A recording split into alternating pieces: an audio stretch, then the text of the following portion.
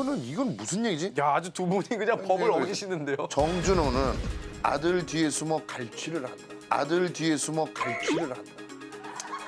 이제 우리가 만나지는 않지만 가끔 이제 문자가 오는데 아들 시욱이 사진이 이렇게 딱 와요 문자로 시욱이가 이렇게 자전거를 탁 타고 이렇게 싹 웃고 있는 사진이 딱 와요 사진 친구끼리 보내자. 네, 우리가 사진이 딱와 그러면은 어 이게 무슨 사진이지 이러면은 삼촌 이렇게 쫙 이렇게 와요 이렇게 어 시욱이가 문자를 보냈나? 어어어 시욱아 삼촌 이 자전거. 이쁘죠? 어 100만 원 주고 샀어요. 계좌번호 보내드릴게요. 계좌번호 보내드릴게요. 시욱이 말투가 아닌데? 얘가 그걸로. 시욱이가 설마 계좌번호를. 한 번은 똑같이 이제 자전거 사진이 딱 왔는데 보니까 헬멧을 썼네.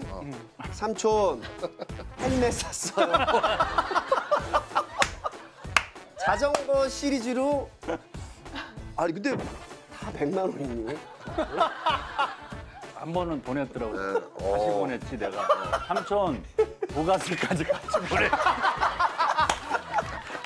가득 읽었어요.